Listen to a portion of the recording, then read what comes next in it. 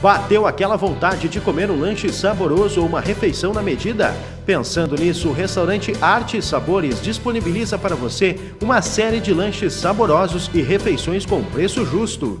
Venha conhecer e desfrute da nossa tela entrega através do telefone 3672 1296. Restaurante Arte e Sabores, sua satisfação é o nosso objetivo.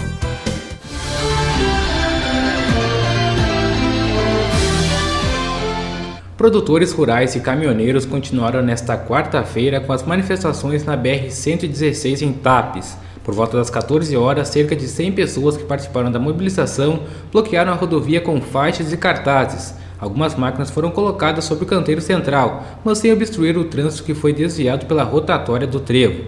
Os manifestantes estão no pátio do posto Alegria com aproximadamente 40 máquinas agrícolas e 25 caminhões. Todo mundo que está aqui é trabalhador, tá? E está aqui só demonstrando descontentamento com os nossos dirigentes, tá? Com as nossas entidades representativas, com os nossos deputados, com os nossos senadores, que hoje nos deram a punhalada pelas costas. Nós temos um grande problema, que é o fundo rural.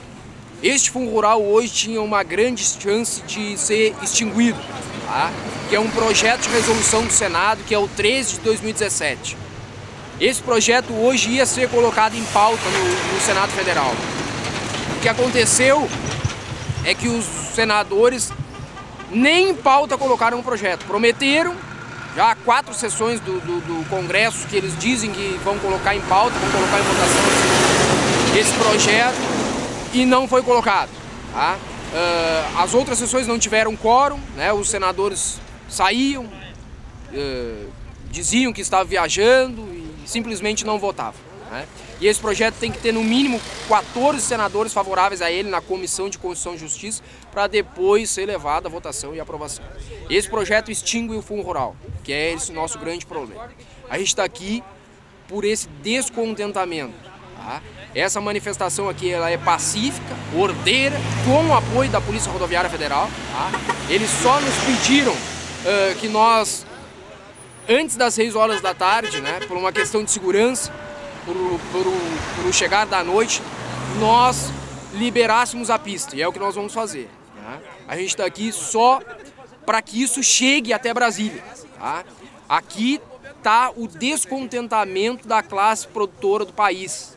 Tá? Não dá mais. O aumento dos combustíveis, essa questão do fundo rural é impagável por parte das indústrias e por parte dos produtores não temos como sustentar a carga tributária que nós estamos tendo e não temos como sustentar esse fundo rural.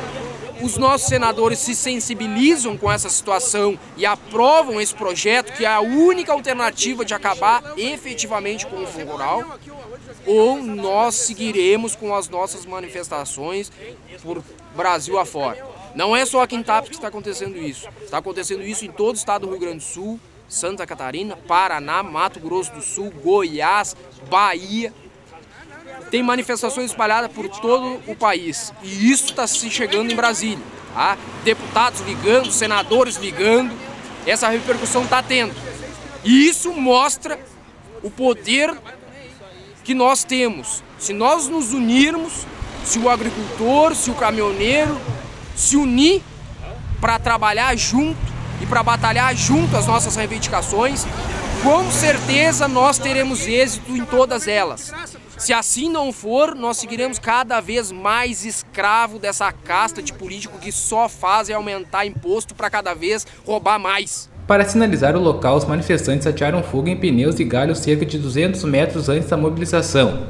A Polícia Rodoviária Federal esteve no local e conversou com os manifestantes, se comprometeram em não bloquear totalmente o trânsito hoje e liberar a pista antes do anoitecer.